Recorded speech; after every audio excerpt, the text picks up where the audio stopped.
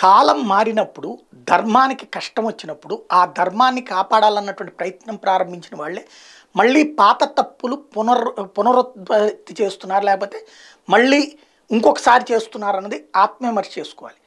ఆలయాలలోకి వస్తాం మేము అనేటువంటి వాళ్ళని ఆపాల్సిన పని ఏంటి నీ ఆలయానికి వస్తాను అన్నాడంటే అది రాహుల్ గాంధీ వచ్చినా లేకపోతే సోనియా గాంధీ వచ్చినా ఒక క్రైస్తవుడు వచ్చినా ముస్లిం వచ్చినా ఆదరించాలి అంగీకరించాలి. ఎందుకని?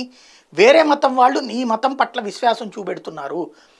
వీళ్ళందరూ హిందూ అభిమానులు లేకపోతే గొప్పగా ప్రేమించే వాళ్ళు ఏమంటుంటారు? దర్గాలకు ఎందుకు వెళ్ళాలి? మనం చర్చిలకు ఎందుకు వెళ్ళాలి అంటుంటారు కరెక్ట్. ఆ మాట అన్నటువంటి వాళ్ళు వాళ్ళు మన దగ్గరకు వస్తానన్నప్పుడు అంగీకరించాలి కదా మరి? ఎందుకు అంగీకరించలేరు? ఇది ఒక ఆస్పెక్ట్. ఇక్కడ ఏం జరుగుతోంది? అమలాపాల్. సినిమా యాక్ట్రెస్ హీరోయిన్ చక్కగా సక్సెస్ఫుల్ అమ్మాయి మంచి కష్టపడి ఎదిగినటువంటి అమ్మాయి. అమ్మాయికి క్రిస్టియన్ పుట్టుకలతో క్రిస్టియన్ కానీ ఈ మధ్య కాలంలో తను ఎదుర్కొన్నటువంటి మొదటి భర్తతో పడ్డ ఇబ్బందులు కావచ్చు ఆ తర్వాత ఎదురైనటువంటి సవాళ్ళు కావచ్చు వాటితో కొంత మతం మారాలనుకుంటుందో లేకపోతే హిందూ దేవతల పట్ల ఆరాధన వచ్చింది. అందులో తాజాగా ఆవిడ ఎర్నాకులంలోని తిరువర్ణికులంలో ఉన్నటువంటి మహాదేవ ఆలయానికి వెళ్ళడానికి ప్రయత్నిస్తే ఆలయ అధికారులు ఆలయ ప్రవేశం హిందువులకు మాత్రమే ఉంటుంది అంటూ ఆమెను ఆపారు.